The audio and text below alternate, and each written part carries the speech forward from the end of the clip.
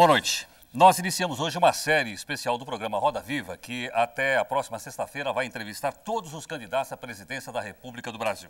Hoje nós vamos entrevistar Orestes Quércia e Walter Queiroz. Amanhã, o almirante Hernani Fortuna e Caetano Matanó. Na quarta-feira, Leonel Brizola e Flávio Rocha. Na quinta-feira, Espiridião Amin e Fernando Henrique Cardoso. Na sexta-feira, é a vez de Enéas Carneiro e Luiz Inácio Lula da Silva. As datas e horários foram decididos por sorteio com os assessores dos candidatos. O entrevistado de hoje é Orestes Quercia, candidato à presidência pela coligação PMDB, PSD e PRP. Nascido em Pedregulho, interior de São Paulo, Orestes Quercia, 56 anos, é filho de um ex-pequeno comerciante. Até os 16 anos, ajudou o pai a cuidar de um armazém em sua cidade natal. Mudou-se então para Campinas, onde trabalhou como jornalista, radialista e se formou em Direito em 1963. No ano seguinte, elegeu-se vereador pelo PL. Em 66 foi deputado estadual pelo MDB. Dois anos depois, conquistou a Prefeitura de Campinas. Surpreendeu em 1974 ao derrotar o candidato governista Carvalho Pinto ao Senado. Oito anos depois, em 1982, foi eleito vice-governador de São Paulo com Franco Montoro. Em 1986, venceu as eleições ao governo do Estado e fez seu sucessor em 1990. Em 91, assumiu a presidência do PMDB e defendeu o presidencialismo no plebiscito do ano passado. Desgastado com denúncias de enriquecimento ilícito, afastou-se então da direção do partido. Retornou à política neste ano como candidato a presidente, depois de vencer na prévia do PMDB Roberto Requião.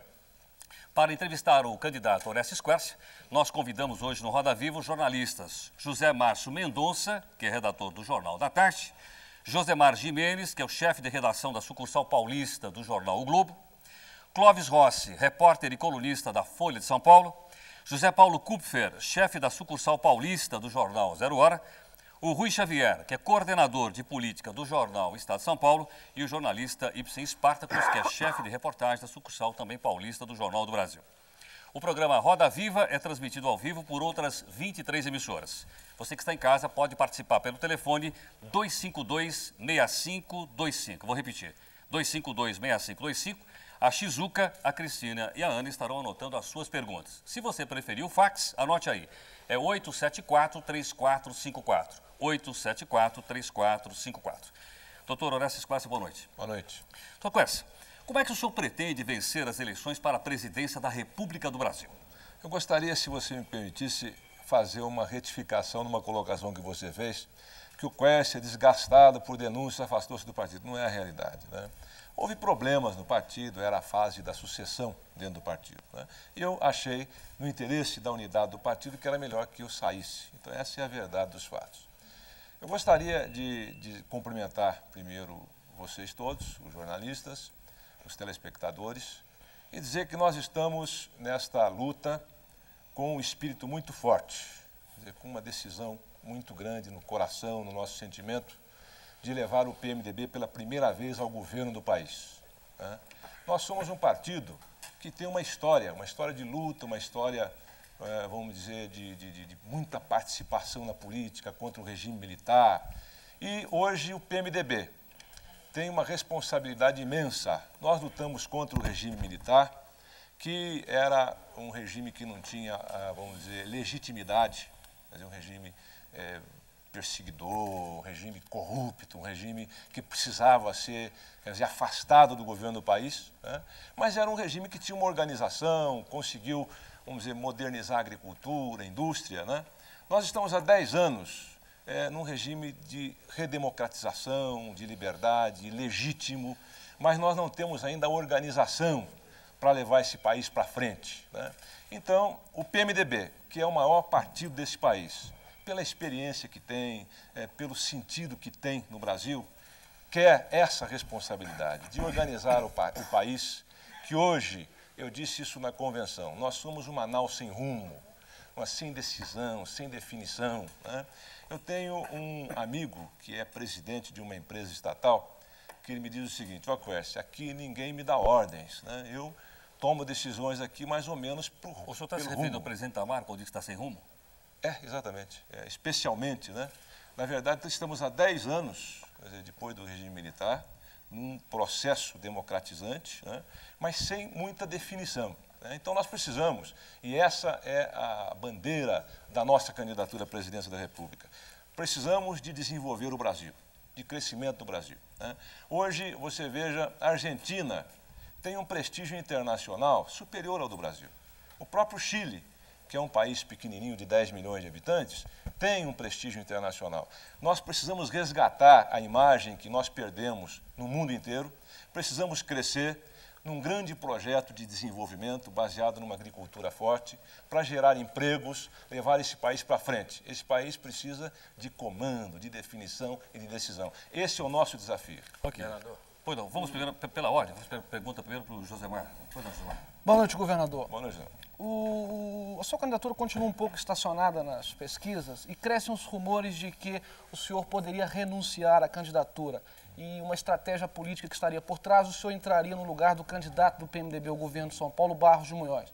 Isso juridicamente é possível, basta que o senhor renuncie e o Barros também renuncie e a executiva referende a candidatura. O senhor é, existe essa articulação? O senhor pode renunciar e vir a disputar o governo de São Paulo ainda? Se a sua candidatura não conseguir decolar a partir de agosto, quando o senhor espera com a entrada do, do horário eleitoral gratuito? Olha, Zé, isso daí não é verdade, é um absurdo, né? Ah, não existe nem a mínima pensamento, mínimo pensamento nesse sentido. Eu sou candidato a presidente, vou vencer a eleição. Né? Essa questão das pesquisas, é, eu já desmenti pesquisas muitas vezes. Eu, quando fui candidato a senador, né, eu tinha 5% nas pesquisas, o professor Carvalho Pinto tinha 75%. Se eu fosse me preocupar com pesquisas, meu caro, né, eu não estaria aqui. Na minha eleição de governador, né, eu tinha 8%, o Suplicy tinha 15%, o Maluf tinha 20 e poucos, o Antônio Emílio 30 e tantos. Né. Fui para a luta, isso 60 dias antes da eleição, fui para a luta no horário gratuito de rádio e televisão, que é quando começa a campanha eleitoral, e venci. O meu sucessor, tinha dois pontos na pesquisa, o Covas tinha quase 50 pontos na pesquisa, o, o Fleury é o governador, o Covas continua bem nas pesquisas. Né? Mas o fato é que eu costumo brincar com os meus amigos. Sou ruim de pesquisas, mas sou muito bom de voto. Tenho certeza, convicção de que a mensagem que nós temos, que é uma mensagem positiva para um país cansado de, de, de, de, de braços cruzados, de insegurança, de incerteza, esse país precisa ir para frente, temos condições de levar esse país para frente. É uma, um país de geografia imensa, 150 milhões de habitantes um potencial maravilhoso e um comando firme numa decisão de um partido democrático vai levar o país para frente, sem dúvida nenhuma. Então, vamos à pergunta agora do jornalista Clóvis Rossi. Eu queria fazer uma retificação da sua retificação. Dizer, na verdade, não era época de sucessão no PMDB, tanto é que o, o vice-presidente do partido na época era o Jarbas Vasconcelos, que acabou não assumindo, porque houve uma briga interna. Etc. Era logo em seguida a eleição da sucessão do PMDB. E além disso, é evidente que havia problemas com a sua imagem. Então, o, fato, o simples fato de você ter contra você nove ações correndo nas varas da Fazenda Pública relacionadas a vários aspectos administrativos. E o fato que me motiva a pergunta é: uh, você tem uma acusação, uh, nada mais nada menos do que estelionato ainda em andamento. Como é que você imagina poder disputar a presidência da República tendo que se explicar dessa acusação de nada mais nada menos que... Eu agradeço imensamente a sua pergunta, né, que me permite fazer uma, uma colocação esclarecedora a respeito dessa questão. Né. Eu saí do governo de São Paulo, né, se tivesse ido para casa, não teria acontecido nada. Saí do governo de São Paulo com 90% de aprovação popular, quer dizer, elegi o sucessor, né? quase 90%, 50. que é o, o IBOP que 50, dá esse, que, classificação, que coloca o regular. Eu, em ótimo e bom, tinha 62%. Quer dizer, na história de São Paulo, duvido que algum governador tenha saído do governo com esse nível. Né? Fui vítima de uma grande campanha de imprensa. Né? Uma grande campanha para tentar me atingir, porque eu saí muito forte do governo de São Paulo. Né? Saí com o sucessor, fui para a presidência do partido. E uma campanha quer dizer, sem nenhum, nenhuma dizer, profundidade. Ainda hoje eu via uma, uns documentos que eu avalio né, para essa questão de Israel, o ombudsman da Folha, dizer, desmistificando a Folha de São Paulo pelas colocações que fazia no sentido dessa questão de Israel, a qual você se referiu, que eu fui, houve uma denúncia que agora vai a julgamento. Eu não tenho dúvida nenhuma, todas as questões levantadas, você se falou aí tantos processos na vara da, da Fazenda. Isso daí é uma campanha sistemática do PT. Nós, eu, eu brinco sempre que nós temos aqui em São Paulo o PT do quê, né? Especializado em todos os dias. Por isso é que eu disse com relação ao Bisol que o PT vai pagar a língua, né? porque ele é irresponsável em fazer acusações, que muitas irresponsabilidades nós vemos na imprensa sempre, porque dão guarida a essas irresponsabilidades denunciosas. Né? O fato é esse. Houve, não, não, todas as questões colocadas, todas, aí, aí vamos, sem é, exceção. Era uma campanha ela, da posso imprensa? Falar, Pode. Então, pode. com licença. Deixa né? eu esclarecer então, com licença. também. Então, com licença. Tá bom, vamos é. lá. Então, todas as questões levantadas dizer, deram a mim atestados de idoneidade. Por quê? O PT levantou questões com relação à Receita Federal. Vasculharam todas as minhas empresas, vasculharam a minha vida pessoal. Não encontraram nada contra mim, nada. Né? Eu, candidato a presidente, contratei a principal empresa neste país, mais respeitada neste país, que é a Trevisan, para fazer um levantamento da minha vida empresarial de trinta e tantos anos. Se levantou tudo. Eu tenho um atestado da televisão de idoneidade da minha vida privada, da minha vida pública. Eu não, tenho, não devo nada à, à situação, a minha vida é limpa, completamente limpa. Essa questão que está no tribunal, que é essa questão de Israel que foi levantada pelo seu jornal, né? Eu não tenho dúvida que vai se constituir num atestado de idoneidade por Quércia. Vai até ajudar o Quércia a se eleger presidente da República. Vamos aqui a pergunta agora do jornalista. Eu só queria deixar pois claro então, que é, é, é, muito fácil esse negócio. A campanha da imprensa, depois vira campanha do PT. Eu queria cair nisso. É junto. falou. Não, foi não levantado pela não. Folha de São Paulo o caso mais aparentemente mais grave. E não me consta que a Folha de São Paulo seja o Brasil agora, que é o porta-voz do PT. Isso precisa ficar muito claro.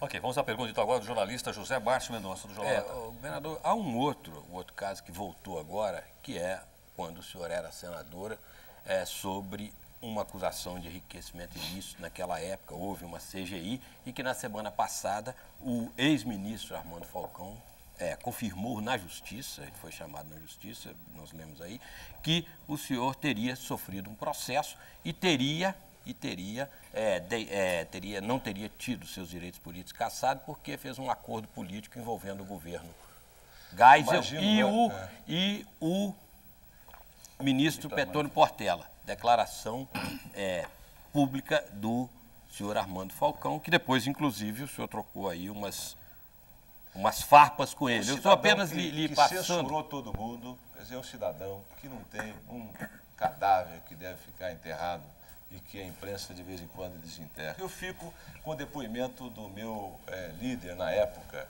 que é o senador Paulo Brossard, que esclareceu bastante essas invencionistas desse cidadão, invencionistas, desse cidadão que não merece o mínimo respeito. Né? Esse Armando Falcão não merece a mínima consideração. Ele foi o, vamos dizer, o porta-voz da ditadura em termos de pisotear a imprensa. E me admiro muito de se é, re, é, restaurar, quer dizer, desenterrar esse cidadão. Um cidadão que não merece consideração nenhuma. Bom, essa pergunta também foi respondida aqui do nosso telespectador, o José Araújo, de Campinas. A pergunta agora é do jornalista José Paulo Kupfer. Pois não? É, eu acho que nós vamos ter chance de voltar a esses temas. Eu queria sair um pouco dessa questão e ir para uma coisa uh, do nosso momento, vamos dizer assim, mais próximo. O senhor aprova o Plano Real?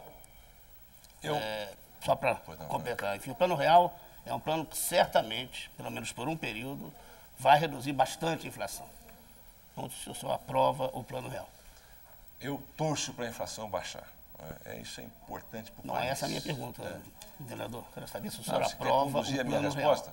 Todo mundo torce é. para a inflação cair e, se fosse verdade, ela já teria caído. É. Mas, enfim, eu lhe perguntei se o senhor aprova Posso responder do meu jeito ou precisa ser do seu jeito? Não, mas eu fiz uma pergunta. Então, Objetivo. Eu é.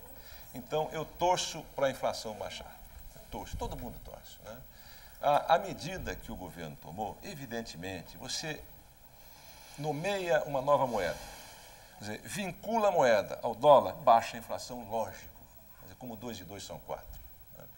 A minha queixa com relação a essa questão é que o governo é, devia ter feito, se tinha tanta confiança que baixava a inflação e que teria condições de produzir com, essa, com esse baixar a inflação um processo de crescimento do país, por que, que não fez isso antes? Fez isso exatamente na véspera da eleição. Quer dizer que é um truque eleitoral? É um truque eleitoral, sem dúvida nenhuma. Né? O objetivo do governo principal nessa questão é eleitoral.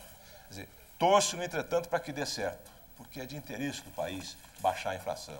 Mas a inflação é algo que prejudica a vida do país, principalmente a vida do cidadão mais pobre, do trabalhador. Né? Agora, acho que o governo vai ter muitas dificuldades. Por quê? O governo foi é, inábil, incapaz de segurar ah, os preços, foi fraco com os remarcadores de preços e foi muito duro com os trabalhadores. Quer dizer, segurou o salário e deixou o preço livre. Né? Parece que eu Por outro lado, estou ouvindo Lula. Perdão. Como é que é? Parece que eu estou que eu, que eu ouvindo Lula. Talvez sejam seja os mesmos argumentos.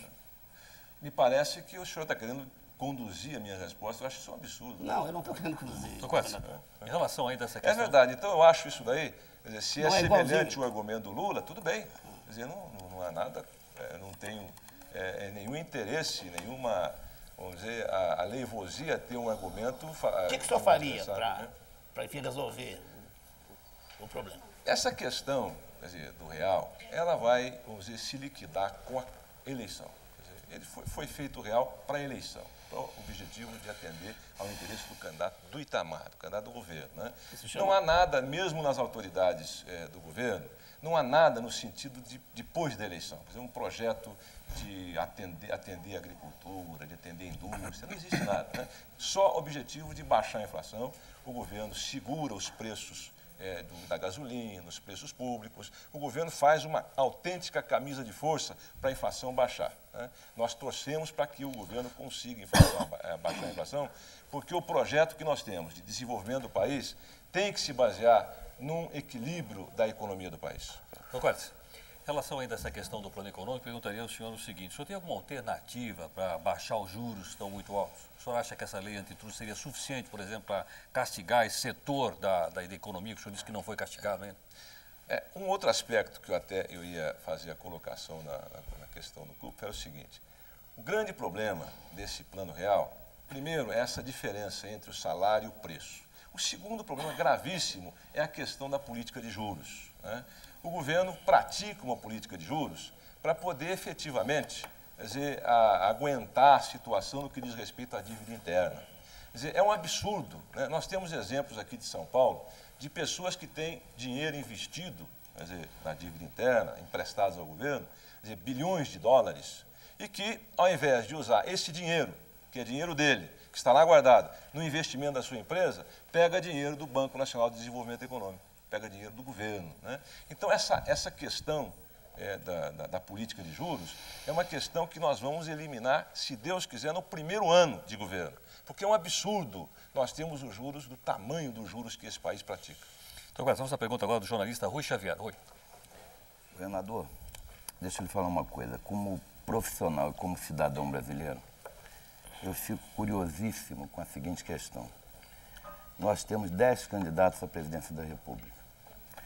No entanto, toda vez que eu vejo uma entrevista sua, o senhor está culpando a imprensa ou o PT por causa dessas, dessas acusações que fazem ao senhor. E, na realidade, eu vejo que o senhor não consegue explicar essa questão do enriquecimento seu. O que eu queria saber é o seguinte: isso daí não está na base dos seus 4%? Quando o senhor fala, você remete à eleição anterior, sua, que o senhor começou com 2%, é verdade, e o quadro era inteiramente diferente. Hoje eu vejo o seguinte, todo jornalista, todas as pessoas que conversam, ou todas não, mas enfim, uma boa parte das pessoas que conversam com o senhor colocam essa questão do enriquecimento como uma questão importante. E o senhor está sempre explicando isso, não consegue nunca é, resolver, solucionar essa questão. Esses 4% não é a causa, quer dizer, o senhor ter 4% hoje não é a causa disso, do senhor não conseguir explicar isso, por que, que o senhor enriqueceu, por que, que o senhor é um patrimônio hoje de mais de 50 milhões de dólares? Governador, deixa eu responder apenas dizer que essa questão também é do senhor José Henrique Fernandes Veras, que é de Fortaleza, Ceará, e está assistindo nesse momento o Roda Viva. Pois não. Não, né? Falou representando o Estadão. Eu sabia que senhor ia falar isso. Ah, sabia, né? Ótimo. O, o Estadão né, é um jornal que pratica contra mim uma dizer, ação odiosa, né? de infâmias, calúnias, todos os dias. né? Porque o seu patrão, né, que é o senhor Júlio de Mesquita, eu denunciei certa ocasião, Júlio de Mesquita, de ter dado um golpe, de, um golpe na Bolsa de Valores de São Paulo. Então ficou um ódio né, do seu patrão. Mas ele foi absolvido disso. É, um ódio. Ele foi, ele foi denunciado pelo Ministério Público né, por ter praticado o crime do colarinho branco e ficou com ódio porque houve essa divulgação né, com relação a esse ato criminoso que ele praticou. E, desde então, ele usa o jornal com o objetivo de me atingir. Recentemente, para ficar num exemplo único, né, que eu não gostaria de me estender muito, né, porque me parece que o senhor veio aqui com esses objetivos, né, Não, não é verdade. é, eu gostaria de colocar o seguinte: recentemente houve lá uma, uma, uma matéria de primeira página, né? Quercia envolvido no escândalo da Previdência. né? Aí eu fui ler a matéria dentro, não tinha nada do que, do que estava na primeira página. né? Aí, dois dias depois, demitiram a moça que escreveu a matéria, que foi uma vergonha que o jornal fez, né? demitiram a moça? E colocaram uma explicação, uma explicação justificativa, um pedido de desculpas pequenininho assim. Então, um jornal que pratica o jornalismo que o seu jornal pratica, não merece consideração. É um jornal odioso, quer dizer, caluniador, quer dizer, que é, evidentemente pratica um jornalismo que não devia efe- efetivamente ser respeitado. E é isso que eu Ô, acho. ô, deixa eu só falar para o não. governador o seguinte, olha aqui, governador, eu tenho 27 anos de profissão, passei por vários jornais. O Posso senhor não tem o direito de chegar aqui e falar que eu não o expliquei, seguinte- entende? Não, o senhor não O senhor explicou. está fazendo o jogo do seu Explicou. patrão não, aqui dentro. Não, é verdade. Isso eu não vou admitir. Repara uma coisa. Tá bom? Olha só, É. repara bem uma coisa. O senhor falou, agora deixa eu falar, tá certo? O senhor está alegando, o senhor está remetendo uma briga que o senhor tem, uma disputa que o senhor tem pessoal com o doutor Júlio Mesquita. Para lembrar o senhor, o doutor Júlio Mesquita foi absolvido naquele processo. E o senhor trata disso como se isso não fosse verdade. Não é? Essa é uma questão que eu não quero tratar, o senhor trata com ele. A minha questão é a seguinte: quando eu lhe falei da minha perplexidade com, com, como cidadão, tá certo? É porque isso é verdade. Tem É aqui- mentira. Eu trouxe aqui É mentira. vários recortes mentira. da Veja, Mentira. da Folha de São É Paulo, mentira da Veja, JB, mentira do seu do jornal. Globo, do É mentira. É Tudo mentira. Todos eles, todos Mentira de vocês. É mentira. Mentira de vocês. não Vocês são os mentirosos. Ah, todo mundo é mentiroso. Você é um mentiroso é também. Mentiroso. O senhor também é. Mentiroso. O senhor também é Mentiroso. Mente é. Mentiroso, caluniador. Caluniador e mentiroso. Caluniador e mentiroso. Quem? Caluniador e mentiroso. Mentiroso e Não caluniador. Mentiroso. Não? Caluniador e mentiroso. Mentiroso. Caluniador e Xavier, mentiroso. Xavier, Mentiroso e caluniador. O Xavier, seu por jornal é mentiroso e caluniador. a presidente Vocês são. Doutor por favor, nós gostaríamos de continuar o programa. grito. Xavier, por favor, Você quer ganhar no grito? Não, não, não, não. Não vou admitir com essas conversas, não. Não. Não é isso, não. O senhor tem que explicar para o povo Você que tem que parar de falar mentira no seu jornal. Mentira! Calúnia do seu jornal, do é safado do seu um patrão. Doutor? Costa, só um instantinho, por favor. Vamos à pergunta agora do jornalista Ibsen Espartaco do Jornal Novo. Pois não. Por favor. Mas ele não vai responder a minha Um pergunta. instantinho, por favor. Eu acho que nós deveríamos. Eu não tenho antes- nenhuma questão de responder, a dúvida de responder a sua pergunta, Eu porque diria- a sua pergunta é um absurdo. O senhor Viu? veio Vocês cá- são cal- caluniadores e você está aqui para fazer o jogo do seu isso. patrão. Não, tudo bem, Eu? tudo bem, tudo bem. Agora, caluniador que. Caluniador, vocês são, você é. é. toda a imprensa. Você é. Toda a imprensa. Caluniador! É toda a imprensa. Caluniador! Claro, claro. Safado! Quando, safado Vocês é o senhor. todos são. Safado é o senhor. Você que é safado. é o senhor. Seu cala- O senhor que é safado. Você que é safado, seu eu não canalha! enriqueci, eu não enriqueci. Canalha! Xavier, por favor. Canalha Você é um canalha! Você, é um canalha! Você é um Você é canalha. um canalha, safado. Enriqueceu, enriqueceu sem explicar. Malandro é você, malandro é você. malandro. Ok. Malandro Xavier, é por você. favor. Safado. Xavier, por favor. Nós Canalha. tentativa- Canalha é você. Xavier, por favor. Então, manda Caluniador. favor, doutor Ele é que é canalha, ele é que é malandro, ele enriqueceu Por sem favor. explicar. Você é um malandro porque o seu Xavier, jornal é favor. malandro você Xavier, faz o, o serviço Xavier, do seu patrão. Doutor Costa, por favor. Gostaríamos- Caluniador! Não, não, caluniador. Xavier, favor. Mistificador! Safado! É o senhor. Safado, você que é safado! Safado é o senhor. Você que é safado, Safado é o senhor. Safado é o senhor. cala a boca aí, viu? Tem que explicar ao povo brasileiro. Doutor Xavier, por favor, instantinho, por favor. bem. Doutor Costa, por Cala a favor. boca! Por favor, instantinho. Tem que explicar como Cala a boca! Doutor Xavier, Cala a por boca, favor. você. Malandro! Malandro é você. Safado! Safado é você que é candidato à presidência Olha, da seu República. malandro. E Doutor não Costa, por favor. Oi, vamos fazer um explica. intervalo. Vamos fazer um viu? intervalo. Você que tem que respeitar a Xavier, pergunta. por Foi favor, foi elegante E você, Você veio não pra foi cá elegante. pra fazer Vamos isso. vamos fazer o intervalo. Você veio Vamos pra cá fazer o intervalo. Nós canalha, um canalha. instantinho. Você tem que Vamos fazer o mostrar como intervalo no programa. enriqueceu, cara. Safado! Xavier, Tem, que Canalha, como enriqueceu. Não adianta Quercia, por favor, fazer um instantinho cena. só. Tá fazendo Xavier, cena. por favor, instantinho. Xavier, Por canalha favor, Xavier, você só um instantinho. Por favor, Xavier, aqui. por favor, Xavier. Depois você responde. Doutor Quercia.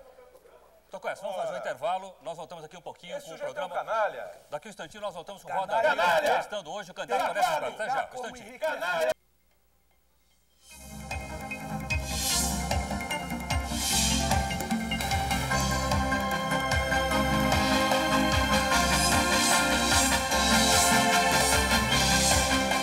Muito bem, nós voltamos com a nossa série especial de programas, o Roda Viva, entrevistando os candidatos à presidência da República do Brasil. Peço desculpas pela nossa exaltação aqui. Nós continuamos ouvindo o candidato Orestes Quercia, que é do PMDB, e agora vamos passar a pergunta ao jornalista Ibsen Spartacus, que é do Jornal Globo. Por favor, Ibsen. Jornal do Brasil. Governador, o senhor está numa disputa que tem como, pelo menos pelo que indicam as pesquisas eleitorais, principais nomes dos candidatos do PT e do PSDB. Pelas pesquisas eleitorais, eles estão à frente do senhor na campanha. O senhor tem mais ou menos dois meses e meio pela frente para tentar reverter essa, essa tendência. O que, que o senhor tem a oferecer para o eleitorado para poder superar essa diferença? Eu tenho, ô, Ibsen, muita firmeza de que a proposta que nós vamos apresentar, eu devo anunciar no dia 26 uma proposta do PMDB, da minha campanha, de desenvolvimento do país, de crescimento econômico com equilíbrio social. E tenho convicção de que essa proposta, quando nós estivermos apresentando pelo rádio, pela televisão, nós vamos mobilizar esse país. né? Esse país precisa de crescimento, precisa de desenvolvimento, precisa de comando, como eu disse no início desse programa. né? O PMDB tem em seu objetivo é, exatamente restaurar, a partir do próximo ano, uma nova política agrícola. né? E sobre essa política agrícola, quer dizer, através de um choque de crédito no país, nós vamos fazer com que haja o, a interiorização do desenvolvimento. né? Eu estive recentemente no Acre e é, prometi, me comprometi com os meus amigos do norte do, do país com a construção de uma estrada que vai ligar o estado do Acre ao Oceano Pacífico. E é um velho sonho brasileiro que nós tenhamos a ligação com o Oceano Pacífico e, assim, possibilidade de acesso à costa oeste americana, aos países asiáticos e a- ao maior mercado deste planeta, que é a China continental. né? É um velho sonho deste país. E eu, quando governador de São Paulo, eh, terminei a ligação do Rio Tietê com o Rio Paraná, que foi uma hidrovia, é uma hidrovia que hoje transporta 1.600 quilômetros de transporte fluvial, que é o transporte mais barato que se conhece. Eu estive recentemente em São Simão, no centro de Goiás, e fiquei impressionado com a industrialização, o empenho em termos de novas eh, eh, culturas, principalmente da soja, lá no, no centro de Goiás. Exatamente por quê? Porque o transporte da, da, da- da- da hidrovia realmente deu uma possibilidade imensa ao centro do país. né? E isso nós queremos repetir no país inteiro. Queremos levar a interiorização do desenvolvimento com novas ferrovias, novas hidrovias, para que esse país, eu disse isso num discurso recente aqui em São Paulo, que o galope do nosso cavalo vai balançar esse país. Vamos balançar esse país com um grande projeto de crescimento, de desenvolvimento. E essa proposta, eu tenho convicção, vai ser muito bem aceita pelo povo brasileiro e nós, sem dúvida nenhuma, vamos ganhar a eleição, levar o PMDB pela primeira vez ao governo para levar esse país para frente. Isso, essa- essa eu tenho proposta- confiança nessa proposta. Essa proposta que o senhor vai oferecer, provavelmente no horário gratuito, vai encontrar o país numa condição econômica atípica em relação aos últimos anos. A inflação vai estar baixa, o poder de compra dos salários é razoavelmente estável, o que se pode comprar no início do mês pode se comprar provavelmente com a mesma quantidade de reais, a mesma quantidade de produtos.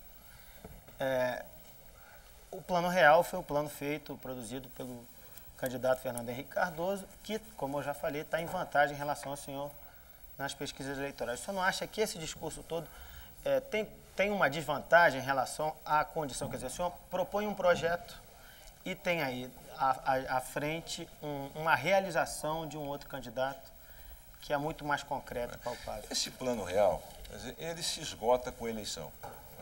É um plano, não é bem um plano, não chega a ser um plano. Por quê?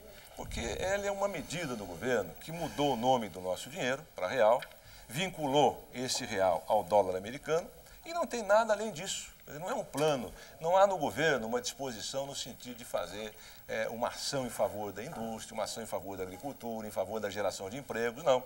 Quer dizer, esse plano, se ficar só no que está, é um plano que vai fazer um dano irreparável a esse país. Porque Governador. vai paralisar esse país, porque eles fixaram o câmbio e isso vai significar o seguinte, que nós vamos facilitar a importação e dificultar a exportação. Então, dramas sérios vão ocorrer nesse país com a aplicação desse plano. Se Governador, ficar como está, por favor, se, Só se apenas ficar como está, esse plano vai chegar em 3 de outubro com uma inflação muito baixa.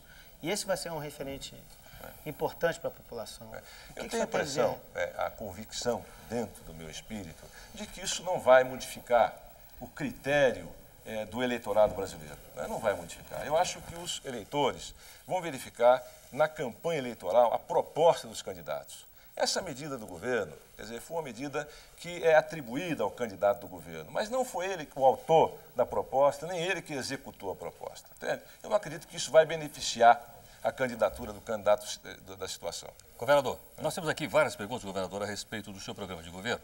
Aqui está a pergunta do senhor José Inácio Mugal, de Piracicaba, José Cândido Miranda, de Pirituba, senhor Benedito de Morumbi, Jair Resses, de São Mateus, Maria Paula Gonçalves, da Vila Mariana, e o senhor Ciro Terra também.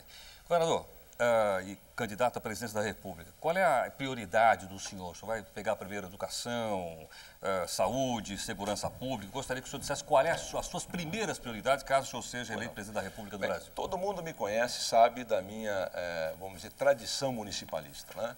Nós vamos fazer no governo a municipalização da saúde, municipalização da educação, do primeiro grau, e municipalização da construção de casas populares. Né? É fundamental que haja para um país das dimensões do nosso a descentralização administrativa. Eu, como governador de São Paulo, fui autor da municipalização da saúde. Nós pegamos os recursos do governo federal, os recursos do governo do estado e botamos, colocamos esses recursos no município. Houve uma, vamos dizer, maravilha em termos de atendimento à saúde aqui no interior de São Paulo, principalmente. Porque os municípios, de baixo para cima, articularam a saúde, os municípios se articularam entre si para fazerem hospitais regionais, de forma que essa descentralização é fundamental. Na questão de casa popular, por exemplo, nós vamos ter um banco, uma instituição que vai ter recursos para casas populares. E nós vamos passar aos municípios a responsabilidade da construção de casas populares. Nós temos já dois, dois tipos de financiamento. Um que é subsidiado, porque nessa questão de casa popular, eu entendo, eu fiz aqui em São Paulo como governador um programa de casas populares. Aliás, é o único estado que tem um programa de casas populares.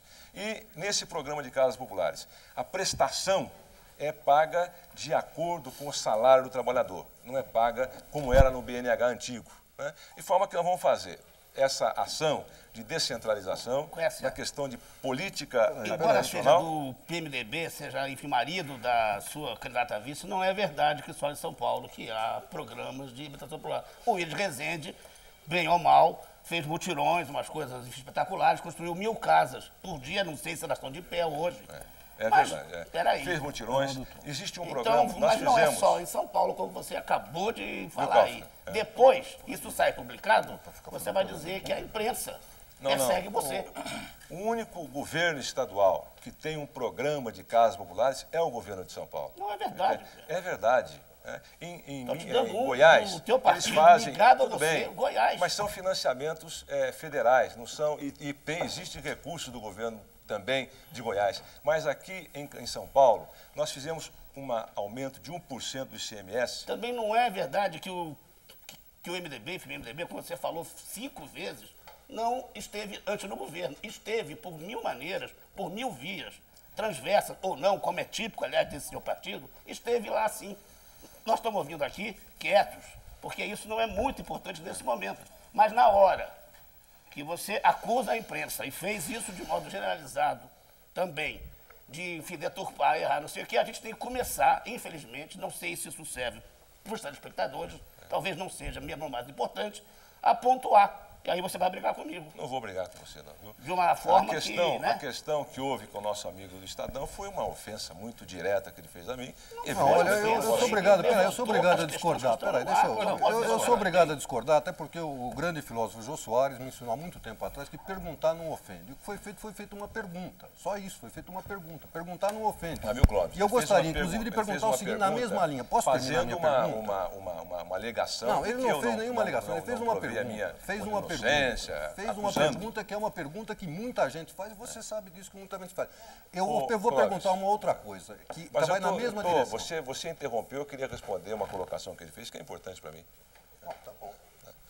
Então, a- eu gostaria de fazer uma colocação para você, o seguinte. Quando eu digo que o PMDB não foi governo, né, evidente, nós tivemos o governo Sarney, quando morreu o Tancredo. Né? Mas o, o Sarney, quando assumiu o governo, ele, hoje ele é um companheiro nosso do PMDB, mas quando ele assumiu o governo, ele vinha de uma dissidência da Arena. Então, não houve uma proposta do PMDB debatida nacionalmente para o PMDB ser governo. Isso nunca houve. E o Pedro Simão, É, agora também não é o PMDB. ele participa não. do governo, né? mas o PMDB Não é o não seu, é mas governo. esse é um partido que cabe Mas tudo. Então É. pode dizer que sim, pode dizer que não. Então, como na essência uma- um debate nacional para o partido e para o governo, ainda não houve isso. Então não houve, o PMDB não foi governo. É isso que eu quero colocar. Evidentemente, Esclarecida houve o governo Sarney, o governo Sarney, e nós tivemos ministros do PMDB. Né? Nessa, nesse, nesse governo nós temos ministros do PMDB, mas não é na essência, no global, uma proposta do PMDB debatida que é levada ao governo. Governador, com relação... Com relação àquela, para votar ainda a Casa Popular, nós aqui em São Paulo fizemos, é, de- dedicamos 1%, aumentamos 1% do ICMS, foi uma proposta do então presidente do, da, da, da- o Maramato, que era presidente da, da, Fie- da Fiesp, né? e ele propôs, nós adotamos essa proposta, fizemos 1% de aumento do ICMS, aqui em São Paulo é Quer dizer, 18%. tirou dos pobres para fazer casa para eles também. É. Porque, enfim, o CMS, você sabe, é um imposto regressivo, É. né? Que taxa todo mundo igual, ricos ou pobres pagam a, a, a mesma coisa, a mesma alíquota. Portanto, você está propondo É, um ser Robin essa observação que você faz pobres. é, tem, teoricamente, dizer, procedência. O fato é que eu fiz um, é, é, uma, uma lei que estabeleceu 1% do ICMS para fazer casas populares. E é o único Estado que tem essa, dizer, essa lei. É o único Estado que tem recursos para casas populares. Não é mentira, portanto, que é só São Paulo. Goiás tem uma ação imensa do, do meu amigo Iris Rezende, fazendo mutirão. Vamos aproveitar essa proposta do, do, do Iris na nossa, no nosso governo, fazer casas populares através das prefeituras, mas, na verdade, só esclarecimento, Clóvis, vamos, essa colocação... vamos à eu pergunta agora ao jornalista Clóvis Gomes. Pois não, Clóvis. Não, na verdade são duas perguntas em uma. Quer dizer, você mencionou aí a, a denúncia do Ministério Público contra um dos diretores do Estado de São Paulo como se fosse dando a ela um tom de coisa saneadora, positiva, etc. Tal. Eu fiz, E eu- só para esclarecer, né, eu disse que ele ficou enraivecido comigo porque eu coloquei essa Pois notícia. é, e o. Ministério Público ofereceu a denúncia que bem, você é, deve considerar uma coisa é. positiva, saudável, pelo tudo que você Eu não expôs. fiz, a- não fiz comentário sobre se é saudável, não. Eu fiz comentário de que houve uma- um problema pessoal Quer dizer, agora, todas as outras ações porque eu anunciei públicas, isso. é. todas as outras ações públicas, as que correm contra você, são coisas do PT. Nesse caso, foi também coisa do PT? Um, dois. Por que é que você demonstra visível desequilíbrio emocional ao responder uma pergunta que todo mundo já se fez, todo mundo fez para você, inclusive várias vezes, no próprio PMDB, nas reuniões fechadas, você deve estar cansado de saber que foi questionado exatamente em cima disso. Quer dizer, eu não entendo como é que um candidato à presidência da República pode perder o controle diante de uma pergunta que, no fundo, é a pergunta que está aí, está tá circulando, está em todos os jornais, não foi publicado por um jornal só, foi publicado em vários jornais. A, a- a Folha de São Paulo, inclusive, fez, publicou recentemente na sua biografia uma pilha de casos em que, alguns dos quais ainda estão em tramitação, e nem por isso você foi lá, invadiu o jornal, nem nada. Eu não entendo como é que um candidato à presidência da República pode ter esse descontrole emocional que você exibiu diante de uma simples Clóvis, pergunta. não tenho nenhum descontrole emocional. emocional. Eu fui ofendido. né? Quando você é ofendido, você tem que, evidentemente, reagir. né? A pessoa reage. Nós estamos num programa de televisão, milhões de pessoas estão nos vendo. Não tem cabimento eu, de repente, ser ofendido por um cidadão ficar quieto. Quer dizer, eu não, não- não tenho sangue de barata, não sou um, um idiota, entende? Eu sou um líder político, fui governador de São Paulo, não posso aceitar uma ofensa e ficar quieto, calado, com o rabo entre as pernas. Isso não existe. Então não há desequilíbrio meu emocional. Apenas uma colocação que eu fiz em razão de uma pergunta agressiva que o cidadão fez. né? Eu não tenho nada, essa questão que eu, só para esclarecer mais uma vez, eu disse que em razão de eu ter anunciado essa, essa, denúncia, houve essa raiva do Estadão com relação a mim. Isso que eu disse. Não entrei no mérito da denúncia, se é válido, se é do PT, se é do PT. Com relação a mim, existe uma, uma, uma, uma sistematicação com relação a mim por parte do PT em São Paulo. Evidentemente, todo mundo sabe disso. Você é jornalista, Sim, é um homem, é, o PT dizer, é um partido oposição, foi sensível, oposição ao seu disso, né? governo, é evidente. Então, que só que eu isso. queria colocar... Agora, o que eu estranho é o seguinte, quer dizer, se o PT tivesse o o poder que tem, que você diz que ele tem sobre o Ministério Público, não precisava nem disputar as eleições, já estava no poder. E visivelmente não é essa a situação. Não, mas existe, viu? Você sabe que nessa questão de Israel, um dos promotores foi assessor do PT na Assembleia Legislativa de São Paulo. Há uma ligação profunda entre eles. Essa é a realidade. Agora, eu tenho que dizer o que eu acho que é a realidade, é um direito meu. Né? Doutor Quassi, tem uma pergunta aqui de um garoto, um garoto de 11 anos, o Marco Antônio Pinto. Ele pergunta ao senhor o seguinte: numa suposta disputa no segundo turno entre Fernando Henrique Cardoso e o Lula no segundo turno, qual dos dois o senhor e o seu partido apoiariam? né? Olha, eu eh, não faço uma, vamos dizer, uma hipótese dessa, porque eu tenho confiança na vitória do meu partido, na minha vitória. Eu tenho confiança que nós vamos levar o PMDB pela primeira vez ao governo da República. A nossa proposta é a melhor proposta que existe. Nós temos uma proposta de crescimento do país, de desenvolvimento com equilíbrio social. Nós temos condições que, pela experiência que nós tivemos na Prefeitura de Campinas, no governo de São Paulo, de levar avante essa proposta. né? Então eu não faria, evidente, respeito todos os adversários, mas eu faria uma colocação que é importante. né? O, tanto o candidato do PT quanto o candidato do, do PSDB não tem nenhuma experiência em administração. Dizer, então, nós estamos vivendo um problema sério neste país que demanda experiência, demanda efetivamente alguém que tenha algum tipo de ação na administração pública para resolver os problemas do país. Então, eu acho que nós, do PMDB, temos melhores condições de fazer uma pregação no país inteiro, percorrer esse país e levar o partido à vitória. Doutor Quessa, bom, Rui Xavier, por favor, eu gostaria que você fizesse a sua pergunta, o doutor Quessa, por favor, ouvisse, e depois que ele fizesse essa pergunta, então o senhor respondesse, para que a gente pudesse acompanhar uma entrevista que é o cunho do nosso programa. Por favor, Xavier. Olha só, o- evidentemente eu vou, fazer, vou lhe fazer uma pergunta porque eu sou profissional, estou aqui para isso, tá certo? É, mas também me estranha, eu fico absolutamente perplexo com a sua, com a sua, com o seu destempero, Xavier, a sua pergunta, por favor. Tá. É, porque essa é verdade isso, isso que o Clóvis falou é verdade. Isso, essa pergunta já, já foi feita ao senhor várias vezes. Eu acho que essa explicação, né, eu posso fazer essa pergunta de uma outra forma. Eu acho que eu fui Sabe é elegante com o Você senhor. fez a Doutor pergunta. Quessa, por Eu favor, fui eu fazer a o pergunta senhor, o senhor me xingou, me ofendeu. Né? Você me ofendeu também. Ai. Mas o senhor, o senhor não me conhece, eu conheço o senhor. Senhor- Xavier, você por favor. Eu, eu conheço o senhor, o Você senhor me não me ofendeu conhece, primeiro. tá certo? Olha, ofendeu O senhor me primeiro. conheceu hoje, Xavier, por pela favor, primeira vez. você primeiro. Não, a não, pergunta, por favor. Eu acho que o senhor fez teatro. O senhor fez teatro para novamente voltar à questão do Estadão, criticar o doutor Júlio, que foi absolvido, que o senhor não fala isso, em nenhum momento o senhor falou isso.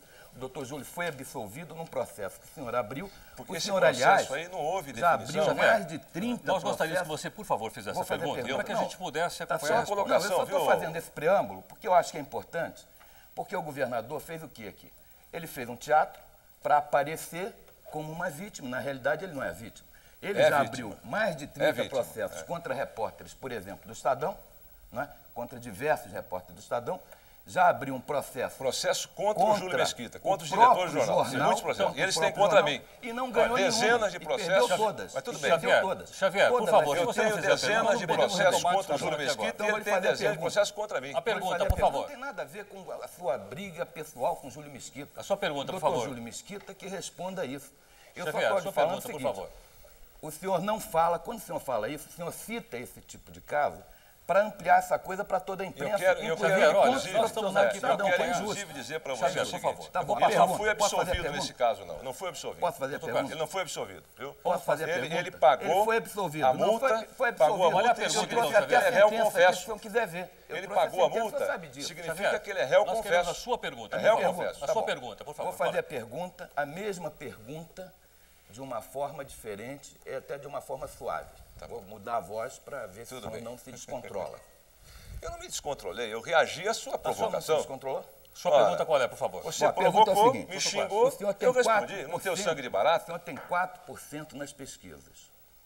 A minha pergunta é a seguinte. Eu fico com a pesquisa da Folha que dá 7%. Tá bom, 7%. Então, o senhor não acha que depois do senhor ter sido prefeito de Campinas, o senhor ter sido senador por São Paulo, ter sido governador de São Paulo, o senhor se candidata a presidente da República, a questão da- das denúncias que pesam contra o senhor, que não é só o Estadão que faz, todos os jornais fazem, gente do próprio partido do senhor faz, o senhor não acha que isso daí tem um peso no, no fato do senhor estar agora com 4% ou 5%, 6%, de acordo com a... Agora, tudo bem. Gostei É da assim sua que queria? pergunta. É, ué, Ok. Pois não, doutor. Claro. Está feita a Não pergunta é da pra forma que o faz queria. uma pergunta respeitando o interlocutor, tudo bem. Tá bom, tá bom. Quer então dizer, o responde fato a que você me perguntou, você me, me agrediu. Por favor, né? doutor então É, Tudo bem, mas pergunta, agora por eu quero esclarecer, me desculpa, né? Desse jeito, tudo bem. Eu estou aqui para responder, é minha obrigação, eu vim aqui para isso, né? Eu acho o seguinte, eu vou te fazer essa colocação, não é verdade, né? É, não há problema nenhum com relação a mim, eu sou empresário há 35 anos. né? Eu disse aqui, contratei uma empresa, que é a empresa mais respeitada deste país, que é a Trevisan, né? para ele avaliar toda a minha vida. É, eu inverti a questão jurídica do ônus da prova, porque quem tem o ônus da prova é quem faz a acusação. Né? E as acusações que o Estado faz, o seu jornal faz, são acusações que, na verdade, não têm nenhuma razão. Xavier, por favor, né? deixa eu concluir a resposta. nenhuma razão. Né? São acusações irresponsáveis. A questão da. da Não da- é da- verdade, da- assim não é da- verdade. Quem está acusando Deixa- é ele. É verdade. Tá- Deixa eu tá completar a agredindo resposta, por favor. Não. você fala? A verdade é o seguinte, que a questão da CGI, por exemplo, o governo teve que engolir a CGI, teve que arquivar a CGI. Esse Armando Falcão é um irresponsável que, é desenterrado agora para um fazer acordo. declarações de um absurdo. Quer A CGI, o senhor fez um acordo, foi publicado Xavier, é mentira. um. Eu tenho uma declaração que foi publicada pelo seu jornal, feita pelo Paulo Brossard, que é um homem decente, um homem de... não tem nada a ver com Armando Falcão. Vou fazer um teste. Pergunta aqui É, alguém. que é essa declaração do Armando Falcão. aqui? Mas então, o- Doutor, você deixa eu algum. falar, deixa eu Tá, falar, né? fala. Então a declaração do, do, do, do- Paulo Brossard esclarece essa questão. Eu não devo nada a, a ninguém de ditadura. Eu, sei, eu fui um homem que lutou contra o regime militar, deu sangue contra o regime militar. Em 78, eu estava na porta das fábricas do ABC defendendo o trabalhador, quando houve o início da re- reintegração do trabalhador na greve, na reivindicação popular. Né? Eu sou um homem, ap- apresentei pela primeira vez, quem apresentou uma proposta da Constituinte fui eu. Eu fui senador que apresentou a proposta da Constituinte, que era uma violência contra o regime militar. Pode uma dizer, pergunta Nunca suave? Um baixei a cabeça com relação ao regime militar. Não, tudo bem. Fui um Só- homem só- só- independente. Vou completar só para o senhor Só Mas aí você veja como é que é. ajudá-lo. Só um veja. instantinho, doutor Você veja, depois Só já ajudar o senhor. Por favor, Só um. Só um instantinho. Quer dizer, então eu venho aqui, sou candidato a presidente da República. Tem que ficar ouvindo ofensas, acusações. É, não tem cabimento. deixa, deixa eu fazer mais uma pergunta ao senhor. É o seguinte, per- nós temos nossos telespectadores, muitas perguntas aqui por fax e por telefone. Eu gostaria de passar mais uma para o senhor. O senhor Cláudio Pérez diz o seguinte: o senhor falou aí de que do problema do plano seria o congelamento de salário. A pergunta dele é o seguinte: por que, que no, no plano cruzado o senhor foi favorável ao congelamento de salários e agora o senhor não é mais? Bem, no plano cruzado, é, é, até é interessante você fazer essa colocação, né?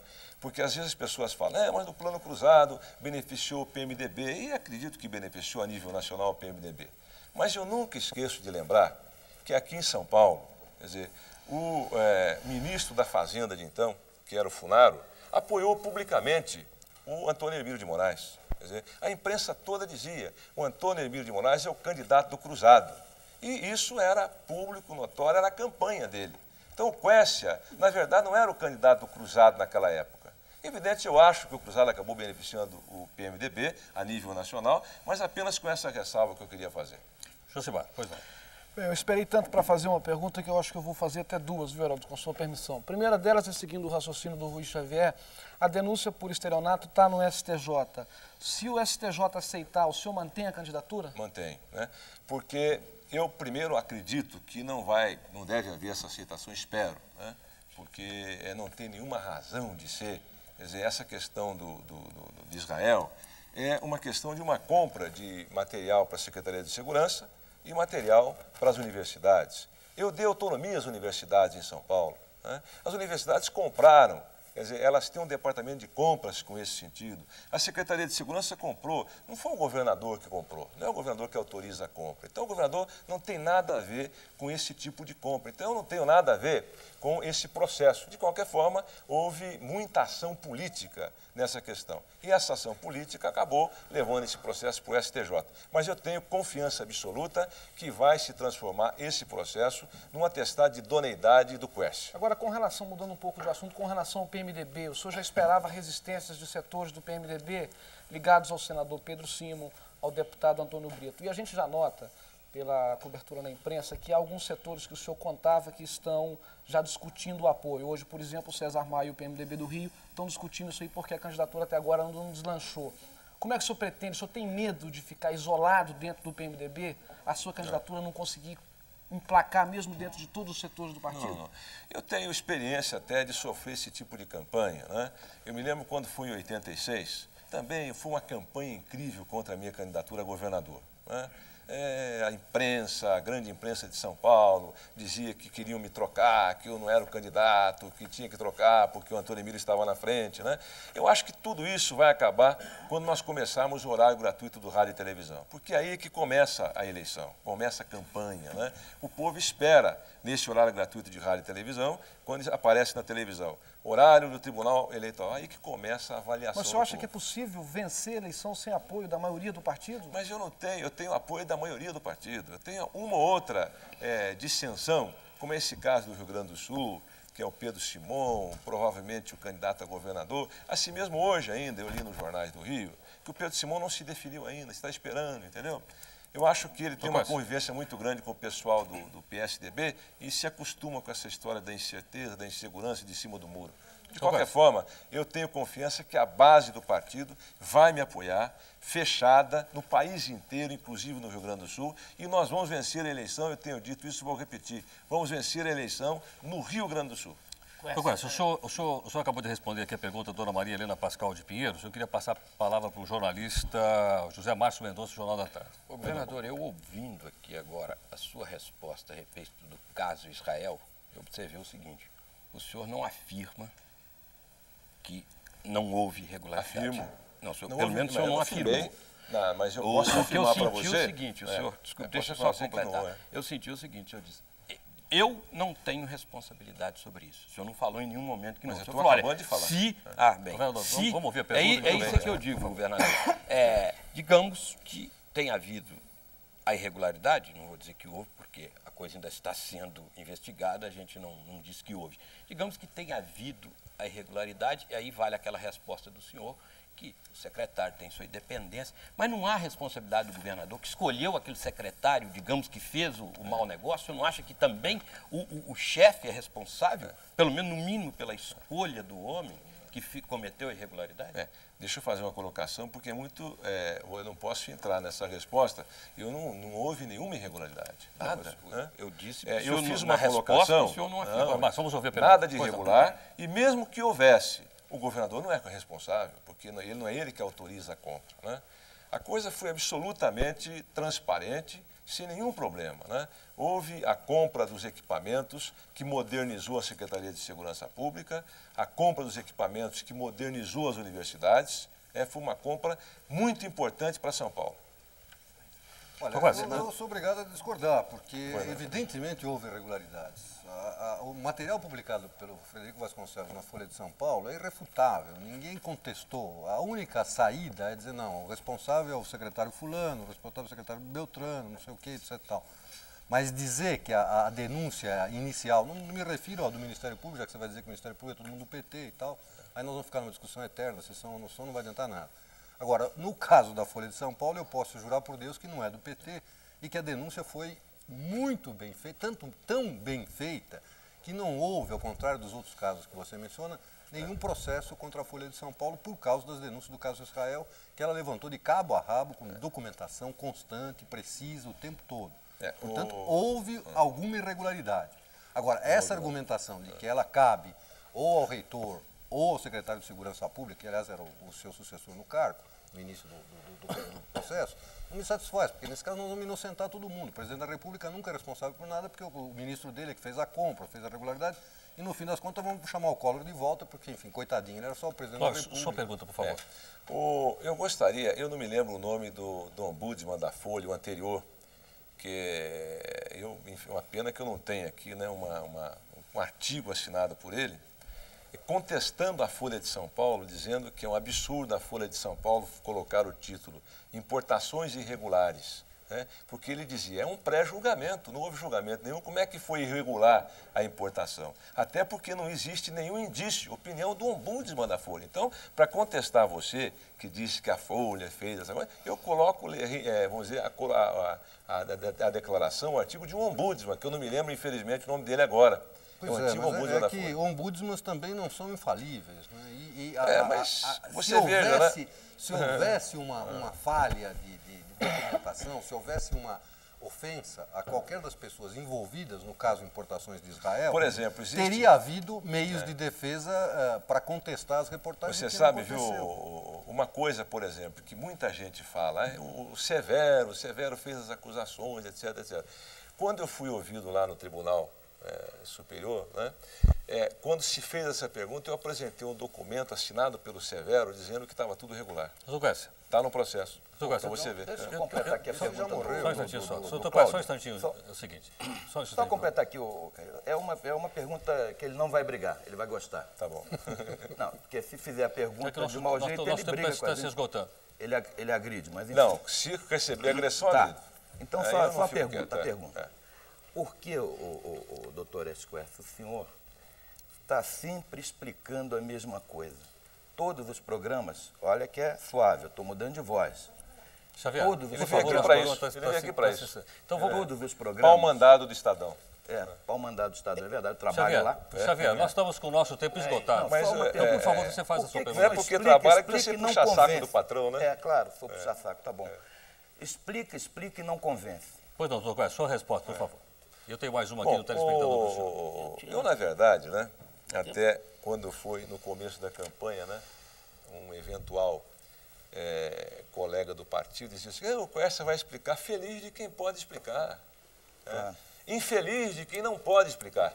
Doutor Eu, Quercia. tudo que eu precisar explicar, eu explico. né? Doutor. Não, A questão, por exemplo, da, da- da- tudo aquilo que eu, tentaram me atingir, com o que tentaram me atingir, se transformou em atestado de idoneidade. Evidentemente que você não vai reconhecer, o seu jornal não vai reconhecer, mas essa é a verdade. Doutor Quercia, eu tenho, tenho duas perguntas aqui, telespectador. Nós estamos já com o nosso tempo praticamente esgotado. O senhor Wilson Inácio, de Guarulhos, em São Paulo, e o senhor Silvio Vitor da Silva. Eles estão falando aqui a respeito de privatização das companhias estatais, se refere especialmente à Telebrás e à Petrobras. Eu gostaria que o senhor começasse a Poderia- resposta com o ou não. O senhor vai partir da Poderia colocar mais uma coisinha junto, que era essa uma das minhas perguntas? Ah, nós Dívida estamos com- externa, vai rever?